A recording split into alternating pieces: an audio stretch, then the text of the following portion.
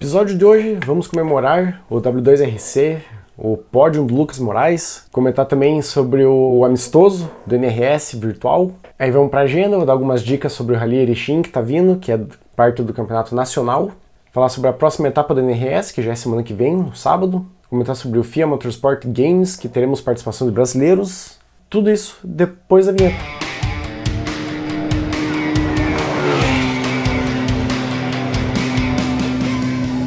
Então vamos lá comemorar sobre, sobre a vitória, o pódio, o terceiro lugar do Lucas Moraes na W2RC, finalmente um brasileiro no, um, num rally mundial, de âmbito mundial, no pódio, então isso teve muito destaque, pelo menos nos, nos dias de hoje, né? O calendário começa com o Dakar, geralmente 1 de janeiro, e termina agora no Rally do Marrocos. Então são cinco grande, grandes etapas.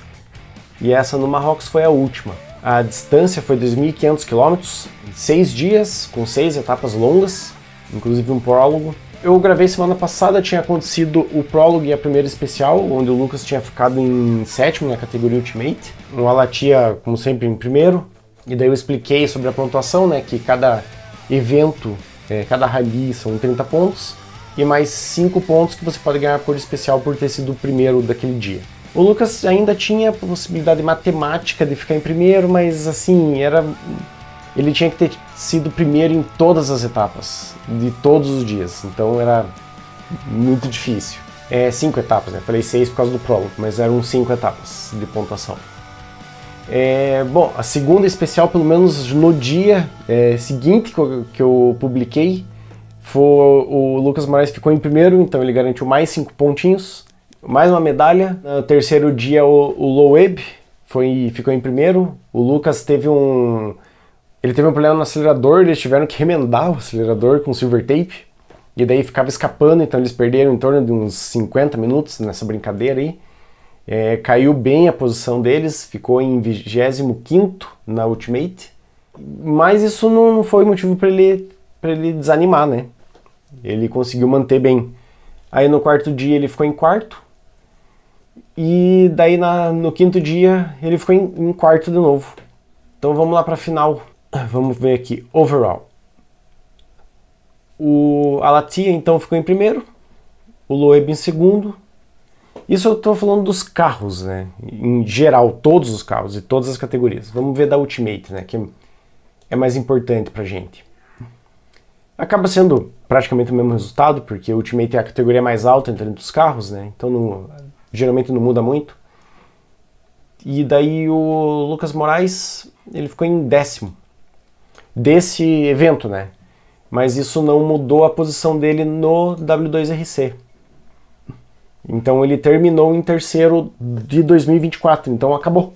Ele é o terceiro lugar mundial de Rally Ride.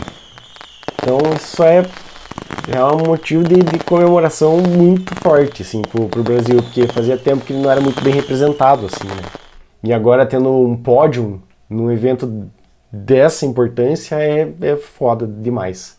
Mas não foi só ele, né? Temos aqui outros brasileiros também, que o Baumgart, é, basicamente o Baumgart e o Cíncia.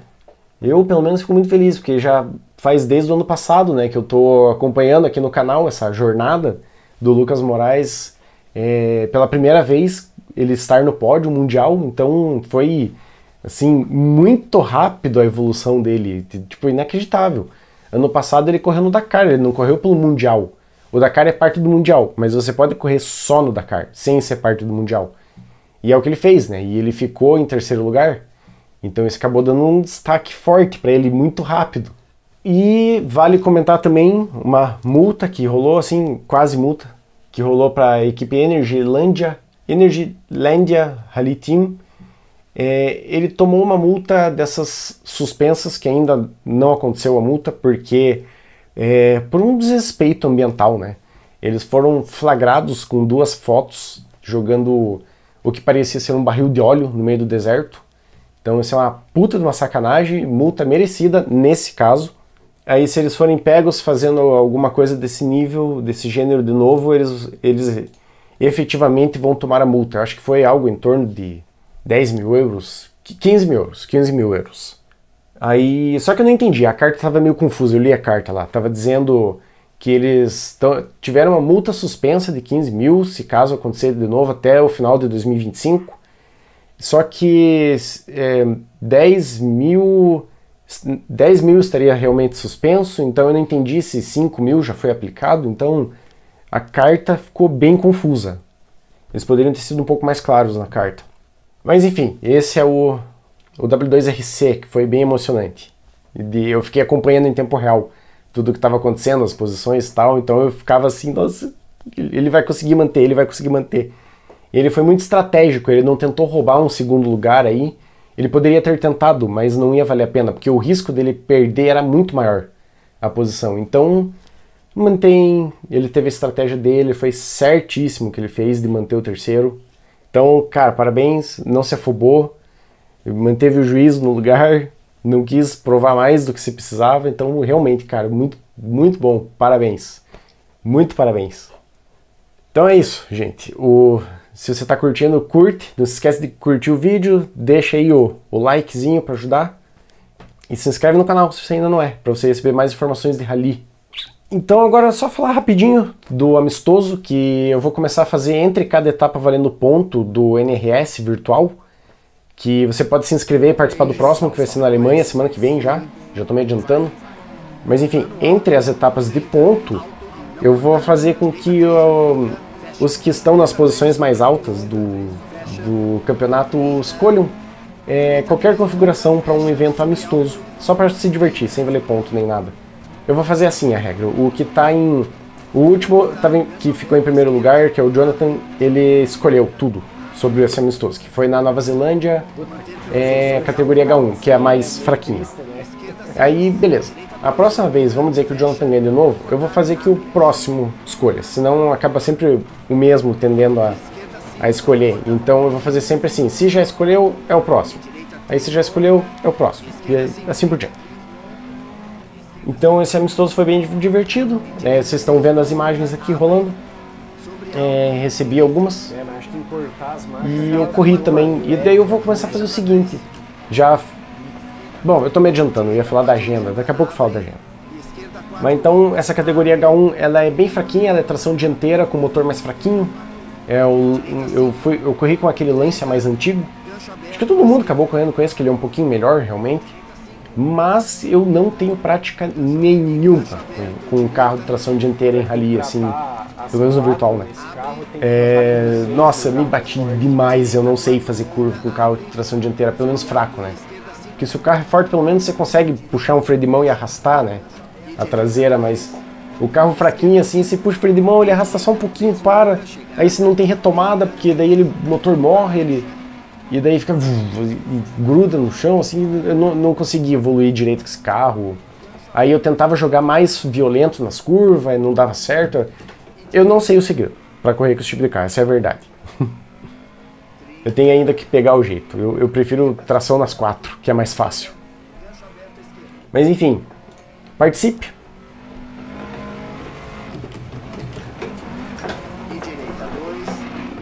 Tá, porra.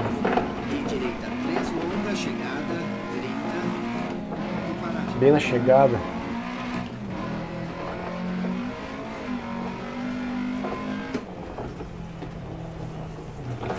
Ah, esqueci que ele não freia sozinho no final.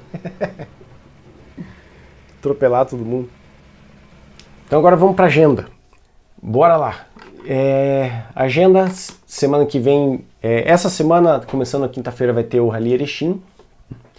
Está na agenda tudo sobre. É só você clicar ali no primeiro link do vídeo sempre. Vai ter todas as informações de todos os eventos. Eu deixo bem organizadinho. Na quinta-feira eu vou fazer o sorteio das especiais do próximo NRS. Ah, por que não sexta, como sempre fazia, que é um dia antes? Ah, porque sexta-feira, putz, gente, é sexta. Não dá. Atrapalha muito. Então eu vou fazer o sorteio na, na quinta. E eu vou adotar o YouTube agora como minha transmissão ao vivo. Eu desisto do, da Twitch, nunca tinha audiência, não entendo aquilo lá direito, não deu certo. O YouTube, a primeira vez que fiz uma transmissãozinha lá, já deu um monte de audiência a mais, então eu vou ficar com o YouTube. Sempre que eu for transmitir alguma coisa ao vivo, então é no YouTube. Desisto do, da Twitch. Então, o NRS virtual é no jogo do Dirt Rally 2, se inscreve lá no site. Vai ter o WRX, que é o World Rallycross, é o Mundial de Rallycross, muito legal para quem tem o Rally TV. Agora sobre o, o Rally Erechim. Oi, Ursa, quer aparecer aqui? Dá oi aqui.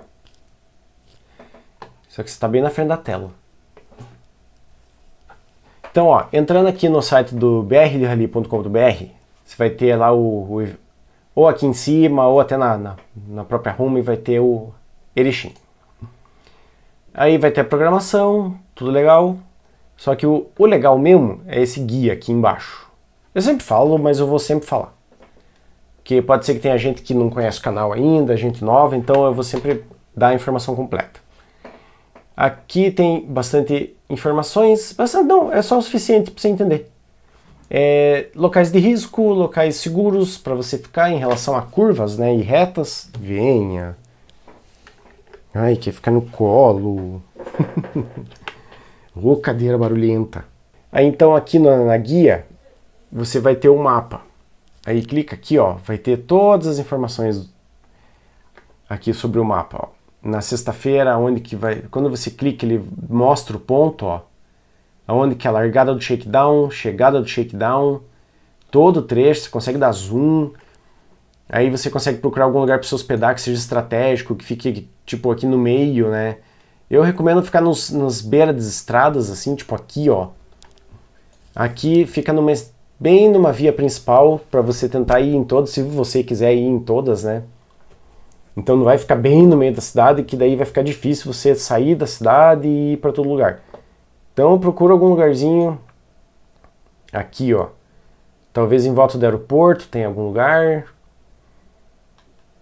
Aí você fica mais estratégico no meio de tudo, ó.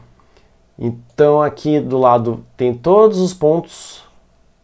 Aí no sábado, ó, até com corzinha de cada especial, tá Tá bem interessante, ó, extremamente proibido. Aonde que é extremamente proibido? Fiquei curioso o que que é ser extremamente proibido. E eu recomendo sempre você fazer assim um pouquinho de tudo, né? Pega alguma largada, alguma chegada, alguma zona de público. Esses ZP aqui, a zona de público, são lugares recomendados que provavelmente tem por onde entrar, ou, ó, tem por onde entrar, ó, sem pegar o, o rally em si, né? Ou se você for bem cedinho, você vai pela via do rally, que é mais fácil, né? Tipo, uma hora antes de começar, geralmente ele fecha a via. Então, se você chegar uma hora antes da, de começar, você consegue entrar. Eu recomendo chegar até um pouco antes de uma hora, para ficar mais seguro. Ô, oh, cadeira barulhenta! Então, essa é a dica que eu tinha para dar. Como usar esse mapa. Esse P aqui, né? Zona de público. São lugares recomendados e legais para você ficar. Ah, são zonas. É, mas ó, se você está vendo, ó, quando a gente clica nesses expressamente proibidos aqui, ele não vai para o lugar certo. Ah, agora foi. Ué, que bizarro. Ó, às vezes não vai. Às vezes vai. Olha só que esquisito. Agora, às vezes vai, às vezes não vai. Bom, enfim, não é erro de quem montou, tá tudo certo. É algum probleminha com o Google Maps, enfim. Aí tem a, aba de tempos aqui, que por enquanto não deve ter nada, né? Porque final não começou. Mas aí vai ter, né? Ver resultados aqui, ó. Então essa é a dica. Se eu fosse, eu montaria um mapinha tal de, de os lugares recomendados, trechos e tal. Então Agora falando sobre o próximo, o NRS, Rally Virtual. A próxima etapa vai ter a etapa 4, valendo 25 pontos, na Alemanha. A inscrição é, é pelo site, claro, você tem que entrar no clube do jogo, né, para poder jogar. Mas para valer o ponto e contar, tipo, você pode correr simplesmente, mas daí não vai correr, vai, não vai contar ponto. É, você tem que se inscrever pelo site, para daí ficar o teu nome lá como participante do campeonato do ano. Né? Então participe. Ano que vem vai mudar. Eu vou escrever regras oficiais do campeonato. Esse ano está sendo um teste para o ano que vem. Já percebi vários pontos, inclusive, foi útil. Ano que vem eu estou bolando ainda as regras. Quando chegar mais perto do final do ano eu vou divulgar essas regras que eu estou pensando ainda. Aí vai ser um pouco mais oficial. Eu vou tentar oficializar melhor esse campeonato. E a próxima etapa vai ser dia 19 e 26. Então é de sábado a sábado, são oito dias. Aí vai ter o WRX, do dia 19 vai ser o primeiro dia, dia 20 é o segundo dia. São etapas completas cada dia. Vale a pena assistir se você tiver o Rally TV, né? E uma coisa importante, o FIA Motorsport Games, que é um evento que acontece na Espanha, né? É, na Espanha. Valência, Espanha. É bem importante, dessa vez vão participar uma dupla brasileira, então isso é muito importante, o Brasil tá para o Brasil ter destaque, né? É, vai ser o Edu Stedili e o Kazé Morales. É, eles são bicampeões brasileiros de rally, foi em 2019, 2023, quando eles ganharam. Então é recente. Aí o, eles vão correr com um Peugeot 208, um Rally 4 categoria. E é, na verdade isso vai fazer parte de uma Olimpíada que é muito maior, não vai envolver só rally. Vai envolver vários esportes. O rally é um deles, né? E daí vai ser uma medalha inédita para o Brasil, né? Se eles ganharem. E daí eu vou dar mais informações sobre isso aí semana que vem. Aí eu trago informações mais precisas sobre isso. Então, como eu falei, eu vou começar a fazer lives toda, toda quarta-feira agora. É, me animei. Eu vou começar a tentar toda quarta-feira fazer alguma live. Aí, quando eu tiver campeonato, vai ser do campeonato, né? Que daí eu vou correr na quarta sempre. Aí quando não tiver campeonato ou amistoso, eu vou correr uma campanha do WRC, por exemplo, não sei. O que der na telha e tiver a ver com rally. Aí vamos lá, para os gamers de plantão que gostam de ver. Vamos ver como é que isso se desenvolve. Talvez eu comece uma campanha nova no WRC essa semana. Que tal? Aí o público que está participando pode dar ideias, né? Ah, começa pela categoria júnior, começa pela categoria principal, começa pela categoria intermediária. Não sei. Vamos ver no que o público resolve. Aí vocês podem me ajudando a escolher os eventos que eu vou participar. Pode ser divertido. Ou até avacalhar. Ah, faz um carro rosa. Não sei. Vamos ver o que, que acontece. Aí de inscrições que eu tenho para rally, se você tiver alguma, algum rally que você sabe que está acontecendo e eu não falei aqui, manda, que eu ponho na agenda e comento pelo menos, mesmo que eu não fale nada a respeito. É, vai ter o Rio Climb e vai ser em Monte Alegre do Sul, dos dias 18 a 19 de outubro. Então é isso que eu tinha para trazer de informação. Então se você tem notícias, novidades, qualquer coisa sobre rally, deixa nos comentários. Eu gosto, eu sempre leio tudo, eu participo. E se é alguma coisa importante eu trago aqui, né? Alguma notícia que eu deixei passar, tudo, tudo tá valendo. E eu sempre respondo o comentário. Valeu, gente. Então eu vou deixar duas recomendações de vídeo. Então de recomendação de vídeo eu vou deixar aqui sobre o último W2RC, que eu comentei a respeito. E aqui eu vou deixar sobre os sertões que o Lucas Moraes correu, já que ele ganhou, eu vou falar mais sobre ele aqui. E os sertões que eu fui, inclusive, esse ano. Participei, fui com tudo pago pela Cronosat. Valeu. Até o próximo episódio. E vem acelerar comigo.